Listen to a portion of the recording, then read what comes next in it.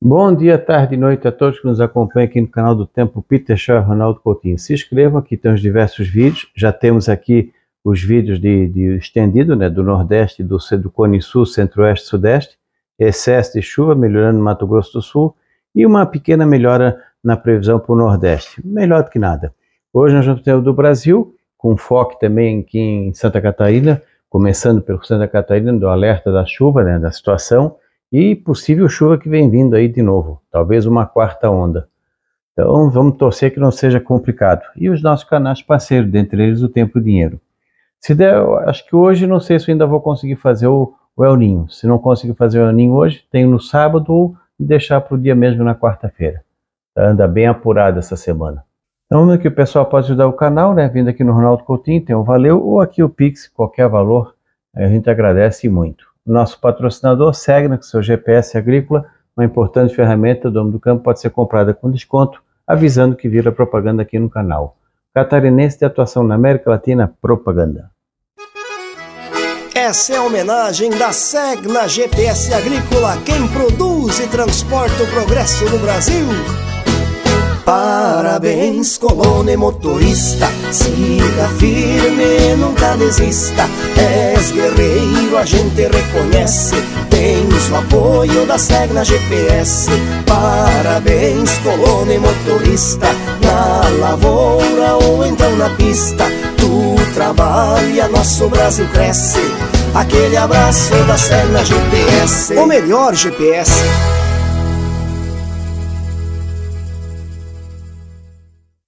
Antes vamos ver aqui, ó. Nós temos aqui na imagem satélite já temos a nossa região aqui, ó. Tem áreas de chuva pegando aqui o centro-leste do, Paraguai, do Paraná, o norte de Santa Catarina.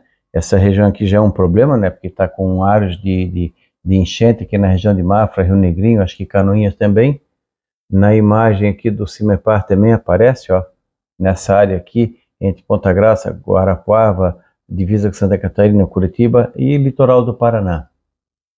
E na imagem do satélite nós temos também aqui, vamos dar um F5. Ó, todo o estado praticamente nublado, norte do Rio Grande do Sul, Paraná também e vento sul.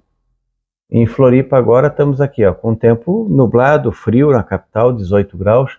Aqui na Serra também está frio, a temperatura agora ó, de 7,7, a temperatura está nublado e está bem gelado. E lá no litoral nós temos com o mar agitado com também ó, no Rincão 15,7.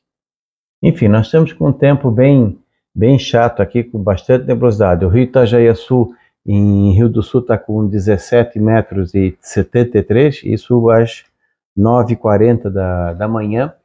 E ali Blumenau também está acima dos 10 metros. Vamos ver como é que está aqui Blumenau.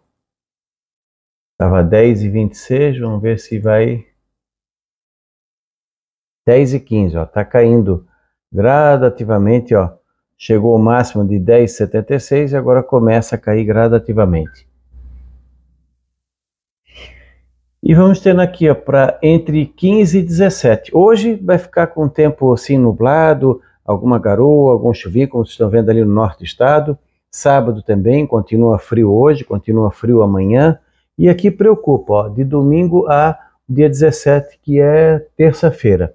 Está indicando chuva aqui em Santa Catarina, Rio Grande do Sul, no sul do Brasil, está indicando chuva nesse período. Ó.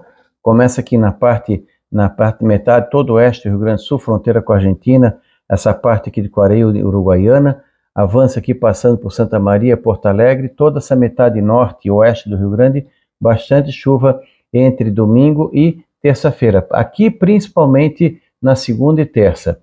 Aqui também no oeste de Santa Catarina é principalmente na segunda e terça sudoeste do Paraná também, Argentina, sul do Paraguai e aqui na região do Corriente. Nessa região aqui, é um, tem tanto na terça quanto também no domingo. Está indicando, alguns modelos colocam uma chuva forte aqui, ó, nessa região aqui, no domingo e também aqui, ó, na Serra do Mar. Eu peguei esse aqui que é uma, um médio, mas já, esse aqui já dá problema. Uma boa parte dessa chuva vem na terça, outra parte no domingo. Então, entre domingo e, e terça-feira, nós poderemos voltar a ter pancadas de chuva e trovada em toda Santa Catarina. Inicialmente o problema aqui no oeste, principalmente na terça-feira, pode chover forte com risco de, de granizo, vento, coisas do tipo, Rio Grande do Sul também e Sudoeste Paraná. E aqui no Vale, uma chance pequena, mas tem de alguma chuva forte aqui nessa região no decorrer do domingo, ao longo do dia, e também aqui na Serra do Mar. E depois, aqui, esse aqui está projetando para terça-feira também chuvas volumosas na área. Não é nada assim ainda parecido com o que aconteceu agora, mas tem que lembrar que os rios estão tudo cheios, as represas estão tudo cheias. Hoje elas estão transbordando e talvez ainda fiquem transbordando, vertendo pelo menos até, até sábado ou parte de domingo. Aí depois tem que esvaziar as represas também para conseguir ter uma condição melhor para qualquer chuva mais forte que venha vindo aí pela frente. Então, tem chance de ter tem alguma chuva forte no domingo aqui no Vale e na terça-feira em todo o estado. Segunda, alguma coisinha e terça em todo o estado com problemas. Rio Grande do Sul, Sudoeste Paraná, litoral do Paraná, pega aqui o Vale do Rio Iguaçu, que também anda com problema. E o nosso litoral, alguma chance. A região menos problemática vai ser o sul catarinense. Aqui, ó, de 13 a 22, mais um episódio de chuva nos próximos 10 dias, ó. Chove bem aqui entre o Paraguai, Argentina, Missões, norte e noroeste do Rio Grande do Sul, oeste de Santa Catarina, sul do Paraná, centro-sul do Paraná e todo a Santa Catarina. Boa parte dessa chuva vem quando? Uma pequena parte na, pode vir no domingo, mas principalmente entre terça, segunda, terça-feira e provavelmente na sexta-feira da semana que vem. Então, dos 10 dias, vai vir em 5, 4 ou 5 dias essa chuva. Então, problemas aqui no Rio Grande do Sul, oeste do Rio Grande, com excesso de umidade, aqui principalmente na agricultura. Está muito ruim para conseguir fazer o plantio, colheita de, da safra de inverno e o plantio da safra de verão. Andamento de hortas comerciais, lavouras de fumo, fruticultura, tudo, tudo, tudo está atrapalhando em função do excesso de umidade, facilitando as doenças e dificultando o combate delas. E aqui no Vale Itajaí, mais um episódio de chuva forte pode vir entre pequena chance domingo, entre segunda, terça e talvez na outra sexta-feira. Então tá, e o sul de São Paulo também, tu vê que pega aqui o sul de São Paulo, melhora aqui no sul do Mato Grosso Sul, no Paraguai também começa a melhorar a chuva. Quando a gente pega aqui os, 30, os 15 dias à frente, até o dia 27, a gente vê o que, ó, a chuva vem bem nessa região aqui, ó. Aqui, alguns modelos colocam chuva forte. Tem um que está colocando uma chuva forte nessa região aqui na terça-feira. Então, terça, domingo e terça são dois dias que merecem muita atenção no nosso Vale Itajaí e nessa parte norte de Santa Catarina. E aqui, ó, ao longo do mês de 13 a 27 de outubro, a chuva pode ganhar em consistência toda aqui, ó, norte, noroeste, oeste do Rio Grande do Sul, toda essa faixa. O pessoal do arroz aqui no Rio Grande também continua com uma situação difícil, que não está dando muita trégua.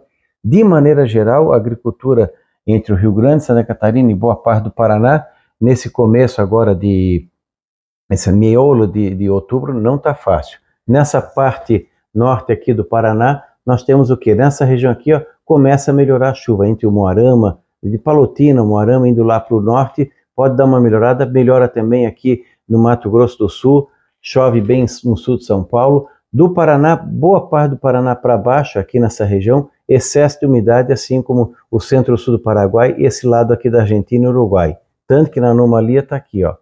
Nós estamos com anomalia acima do normal em grande parte da região sul, mais abaixo aqui nessa área do Paraná, em Mato Grosso e Paraguai. Nessa região aqui está bem acima da média para os próximos 15 dias. Além disso, ainda tem frio. Para aqui, para o dia 18, semana que vem, pode ter geada aqui na província de Buenos Aires, isso pode afetar alguma coisa de trigo, geada isolada aqui no Uruguai, na campanha no Rio Grande do Sul, e aqui no topo da serra não dá para descartar na quarta-feira e principalmente na quinta. Ó. Tem até temperaturas negativas aqui na nossa região. Então, geada com potencial de danos na semana que vem, aqui no Uruguai, na, no, no na campanha sul do Rio Grande do Sul e alguma coisinha na província de Buenos Aires. Então, semana que vem, além da chuva, ainda vamos ter é, condição de, de, vamos dizer assim, de geada que possa atrapalhar. Na quinta começa com geada, depois vem chuva. Na quinta-feira já pode ter chuva aqui, ó, nessa região, aqui na Serra na sexta. É bem complicado essa semana que vai entrar. De 13 a 22, abaixo da média desde o Espírito Santo, Rio, Sul de Minas, Centro-Sul e Leste São Paulo, boa parte do Paraná, toda Santa Catarina, Rio Grande do Sul, Uruguai, Norte da Argentina e Sul do Paraguai. Acima da média daqui para o Brasil e aqui nesse lado da Argentina. Quando chega de 18 a 27, continua ainda abaixo da média nessa faixa aqui do Espírito Santo, Rio, Minas, São Paulo, Paraná, Santa Catarina, Rio Grande, pedacinho do Uruguai, um pedaço da Argentina e um pedaço do Paraguai, lá para cima, acima do normal. Então, é chuva, é, é frio fora de época e temperaturas mais altas lá para cima. Bem bagunçado esse mês de outubro. Vamos torcer para que seja o menor possível. Nesse dia aqui, ó, já está há três dias indicando temperaturas abaixo de zero nas áreas de produção aqui de maçã e frutas do topo da serra. O pessoal vai ter que fazer algum combate. Voltando agora para o Brasil, nos próximos cinco dias nós temos o quê? Da metade oeste do Amazonas, pancadas isoladas de chuva, o Acre e a oeste de Roraima. Essa parte aqui da Amazônia está um pouquinho melhor, de 13 a 17, que vai ser de hoje até terça-feira. O Pará, pouca chuva, mais da metade sul, muito pouca chuva no Amapá. Maranhão está indicando também ó, um pouquinho de melhora na condição aqui no Maranhão, talvez aqui o norte do Maranhão, São Luís, a parte divisa com o Pará, norte Tocantins, toda essa parte aqui do Maranhão pode ter alguma chuvinha. Pouco ou nada no Piauí, e chuvas bem perdidas no Ceará, alguma coisinha na Serra do Ipu, na região aqui de Fortaleza e no sul do estado. No Elefantinho, Rio Grande do Norte, fica mais no litoral, grande parte dele, pouco nenhuma chuva. Grande parte da Paraíba também, pouco nenhuma chuva, alguma coisinha entre Campina Grande João Pessoa, aqui entre Garanhuns, eh, Caruaru, em direção a Recife, litoral, uma parte aqui de Alagoas, Sergipe também. Então, nessa faixa leste aqui, alguma chuva perdida, e também aqui no litoral da Bahia. Pega da Chapada em direção a Rio Côncavo Baiano, alguma pancada isolada. Grande parte do norte e centro-oeste da Bahia seco, norte de Minas também seco, norte de Goiás também seco, Distrito Federal, Goiânia, pouquinha chuva, aqui Tocantins, pancadas isoladas, no, no, no Mato Grosso, o noroeste é onde tem uma condição melhor de chuva, assim como Rondônia. Toda essa faixa central do país que pega Rondônia, Mato Grosso, Goiás, norte do Mato Grosso do Sul, norte de Minas e o Mato Piba, pouca chuva é bem irregular. Tá difícil aqui para o pessoal ter um plantio com segurança. Tem fazendas no Mato Grosso que estão bem, tem fazendas que estão precisando muito de chuva. Aqui, por exemplo, vai ter uma boa chuva nesse período. Sudoeste e sul de Goiás também, o noroeste e oeste do Mato Grosso do Sul, pegando Campo Grande, pouca chuva, o leste, alguma coisinha, e uma chuva melhor aqui na parte sul do Mato Grosso, que provavelmente vai ser na terça-feira. Aqui no Paraguai e Argentina, como a gente já falou lá no, no início do vídeo, onde tem mais chuva. Pegando aqui o litoral de São Paulo, ó, a área do café em São Paulo, quem sabe lá nosso amigo Coalhada pegue chuva por lá também. Então aqui ó, nessa parte de chuva aqui na, no norte, na área do café, Cerrado Mineiro também, principalmente aqui de, Ponte, de Nova Ponte, ponto, eu acho que região do Uberaba, Uberlândia, Sacramento para cá, o sul de Minas também, o céu, aqui ó, volta a ter alguma chuva no café do, da Mata Mineira e no Espírito Santo também, ó, no centro-sul do Espírito Santo. Já a metade norte de Minas, pouco ou nenhuma chuva. Quando a gente pega aqui o total de chuva em 15 dias, melhora em todo o Amazonas, Acre, uma pequena melhora aqui em Rondônia, noroeste do Mato Grosso, oeste do Pará, Roraima, Amapá um pouquinho, mas aqui ó, metade leste do, do, do Pará fica ruim de chuva, pouca chuva no, no Tocantins, pouca chuva no norte de Goiás, pegando o Distrito Federal, não é muita chuva no Maranhão, chuvas isoladas, alguma coisinha no oeste do Piauí, mas pouco, pouca chuva no Ceará, Rio Grande do Norte, alguma chuvinha aqui entre Garanhuns, entre Campina Grande e João Pessoa, na Paraíba, a Caruaru, Garanhuns e também Recife, boa parte do sertão de Pernambuco, da Paraíba seco, norte da Bahia pouco, nenhuma chuva, alguma coisinha isolada em Irecê, nessa parte aqui leste da Bahia, alguma chuva entre Salvador e a divisa com o Espírito Santo, Vitória da Conquista, no oeste da Bahia pouco, nenhuma chuva, pouca coisa no Tocantins, um pouquinho de nada melhor na metade norte do Goiás, mas mais na parte sul, Minas melhora um pouco aqui no Triângulo Mineiro, sul de Minas, café em São Paulo, na Mata Mineira, no sul de, no Espírito Santo, na Serra do Rio de Janeiro, inclusive a capital, melhora um pouquinho aqui ó, no noroeste de Mato Grosso do Sul, na parte sul mais ainda, e muita chuva aqui no sul, como a gente já falou no começo do vídeo, avançando aqui para dentro da Argentina e Paraguai. Não está muito fácil o Mato Grosso, Tocantins, Goiás, o Mato Piba para esse início de plantio. Muitas fazendas não estão com uma condição boa de umidade.